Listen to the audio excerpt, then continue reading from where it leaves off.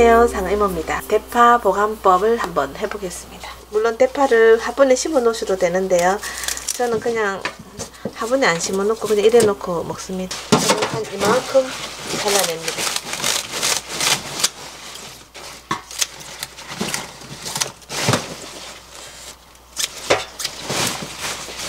저는 이 너덜너덜한 부분은 이렇게 한꺼번에 모아서 육수에 넣습니다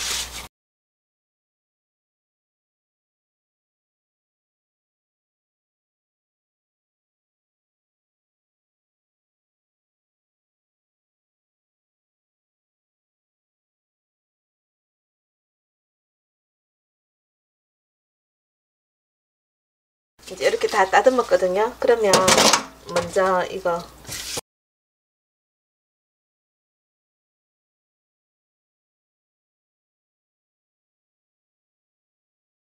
씻어야 돼요. 이렇게 해야지 사이사이가 깨끗하게 씻어지거든요.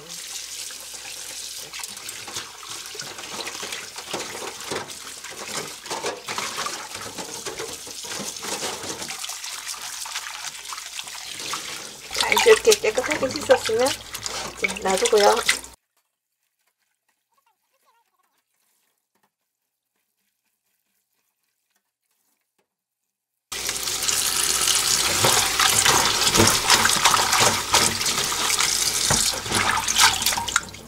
같이요 이렇게 놔뒀다가 바로 육수를 끓이겠습니다.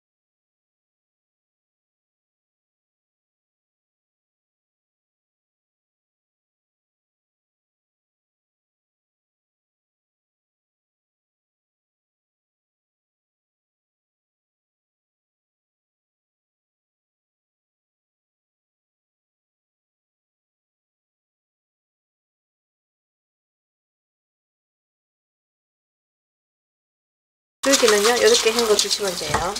이 속에도 흙이 있고 또 여름에는 벌레도 있고 뭐가 많이 쓰다 보면 이쪽에서요 이런 데서 흙이 막 나요 이 사이사이에서. 잎을 씻으실 때는요 이런 식으로 뜯어서 하시면 제일 좋아요.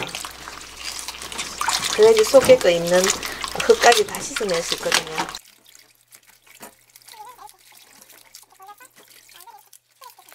대파는요 잎이 먼저 상하거든요. 그래서 잎을 먼저 써야 됩니다 샀을 때 바로 귀찮더라도 이렇게 손질을 해 놓으시면 한 달은 대파 안 사셔도 돼요.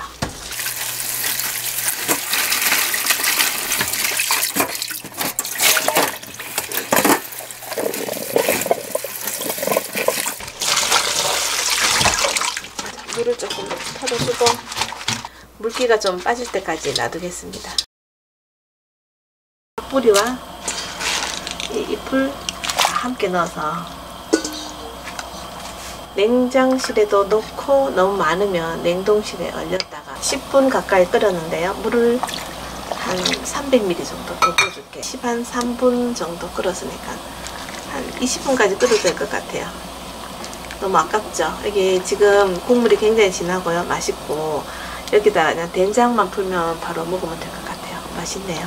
자 이렇게 해서 이제 건져내겠습니다. 한 10분에서 한 15분만 끓이고 이제 건져내시면 돼요. 다 말려졌습니다. 이렇게 한 몇 시간만 있으면 물기 다 마르고요. 저는 빨리 말리려고 선풍기 앞에 갖다 놓고 틀었습니다. 자, 먼저 이렇게 줄기와 잎을 나누시면 돼요. 자, 이렇게 줄기고 이건 전부 잎이거든요. 이 줄기는 이렇게 물기 다 빼고 이렇게 비닐봉지에 넣어 놓으시면요. 오래 가요. 이렇게 보관이 한 열흘 정도 이렇게 가거든요. 그래서 줄기는 이렇게 넣어 놓으시면 되고요. 음, 이런 비닐 랩에도 괜찮아요. 이렇게 해서 넣어 놓으시면 돼요. 키친타월을 안 넣으셔도 통풍 구멍을 조금 이렇게 내놓으시면 좋습니다. 구멍을요. 그러면 이제 습기가 좀 안 차거든요. 이렇게 구멍을 좀 내주시고 이렇게 놔두시면 그러면 냉장실에서 조금 오래 보관이 돼요. 랩에다가요.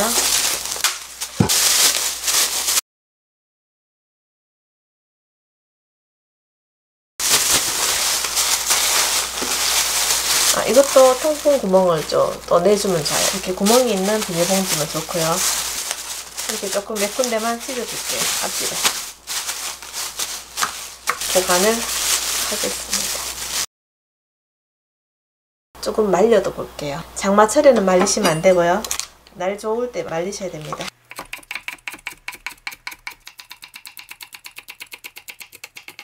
종이 호일이나 아니면은 그 키친타월 있죠. 키친타월을 까시고 이거를 이렇게 좀 담아서 이렇게 넓게 펴주시고요. 좀 바람 좀 통하는데 하지만 또 바람 부는데 놔두시면 안 돼요. 이거 마르면서 날려가거든요. 그냥 바람이 조금 통할 수 있는 그런 장소. 하루만 말리시면 다 마르거든요. 이렇게 좀 뒤집어주면서 말릴게요. 썰어서 얼려야 되는데요. 이런 식으로요. 송송 이게 대파가 별로 굵지 않으니까 이렇게 송송해져요. 이렇게 해서 냉장 넣어놨다가 어, 이거는 국에도 넣고 된장에도 넣고 두든지 다 하시면 돼요.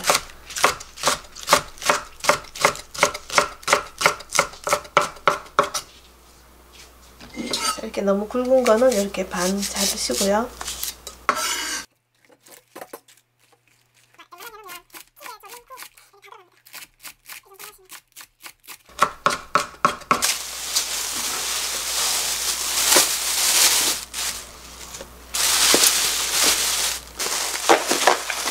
이렇게 어, 약간의 공기를 주시고요. 냉동실에 지금 갖다 넣을게요. 하루만 말리면 보통 이렇게 바삭 말라집니다. 집안에다 두고 말렸거든요. 바깥에 말리면은 이거 가벼워서요. 바람 불면 다 날아갑니다. 그리고 창문가에 놔두셔도 바람이 불면 이게 날려가거든요. 전 그냥 거실에 테이블 위에 올려놓고 말렸는데요. 요거는 색깔이 조금 누렇게 갔죠. 좀 색깔이 갔는 거는 제가 이제 먹다가 쪽파에 색이 이제 가는 거에 누렇게 내일 되면 상할 것 같아서 제가 미리 어, 이렇게 썰어서 올려 이렇게 담아놨더니 이렇게 약간 색이 가면서 예쁘진 않지만 이렇게 누렇게 말라졌거든요. 이것도 이렇게 말리시면 돼요. 말려가지고 자, 이거랑 이거랑 같이 이렇게 넣으셔도 됩니다. 키친타월에 깔고 안 되겠다 싶으면 이렇게 말리시면 돼요. 이런 식으로 키친타월을 깔고 말리면 잘 말라져요. 그리고는 저는 이제 올리브유 넣으셔도 되고요. 저는 식용유입니다. 파기름 재료까지 완성했습니다. 이거는 냉동실에 넣어놨다가 볶음이나 어디든지 다 뿌려 쓰시면 돼요. 대파 프레이크로 쓰시면 됩니다. 자, 이건 잎이니까요. 가장 먼저 드셔야 되고요. 그 다음에 요거 센 거 먼저 드셔야 됩니다. 줄기 드시고요. 그리고는 나머지는 요 오일 있죠. 요거는 밥 볶을 때나 뭐 튀김할 때든 다 필요하신데 쓰시면 되고요. 저거 요것도 찌개나 이런 데다가 뿌려 넣으시면 돼요. 볶음에 하셔도 되고요. 그리고 요거는 제가 대파 뿌리로 내는 육수입니다. 이거는 냉장고에 넣어두시면 한 일주일 안에 김치 냉장고에는 한 열흘 이상 갑니다. 이렇게 드시면 되고요. 이거는 이제 얼린 겁니다. 얼린 거를 한번 이렇게 이렇게 서로 붙어 있는 거를 이렇게 떼주시고요. 어, 디든지 사용이 가능해요. 찌개 뭐 이런 데다가요. 이렇게 한, 줌, 한 주먹씩 그냥 뿌려 넣으시면 됩니다. 볶음 다 가능하고요. 대파는 이렇게 정리하면 될 것 같습니다. 이러면은요, 아, 한 달 끄떡없이 먹을 수 있죠. 대파 정리하기 완성되었습니다. 상의무였습니다. 감사합니다.